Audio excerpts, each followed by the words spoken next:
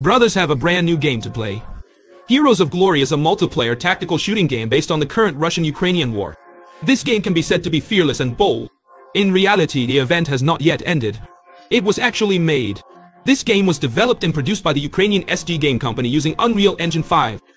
And the maps and buildings in the game are restored one-to-one -one using real geographical data and photogrammetry tools. Currently, the game has a story campaign mode and a large-scale multiplayer competitive mode.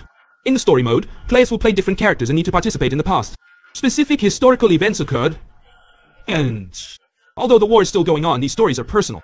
In the multiplayer mode, players can play any profession to participate in the battle. In addition to conventional infantry, artillery, and armor, there are also drones, scouts, logistic supplies, and counter-reconnaissance. The main reason is that all professional games in reality have them all, and the weapons, equipment, vehicles, and heavy firepower equipment in this game are also extremely rich.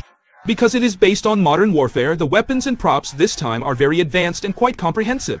You are in the use of drones to drop bombs at fixed points, long-range artillery shell tracking, and super-large weapons that require multiple people to operate at the same time to launch are all available here. In addition to the rich armed equipment, the gameplay setting of this game is also quite hardcore. As a commander, you need to reasonably plan different attack routes and personnel combinations. Lead a small team to bombard the military base, sneak attack and ambush mid-air armed suppression, or join a large army for a fun game. The dripping battlefield combat of this game was opened for public testing in July, and the official said that it will launch a second round of free testing in the near future, and more new content will be added this time. Friends who are interested in this game, remember to like and add it. Pay attention to the game and I will notify you as soon as possible for the latest news.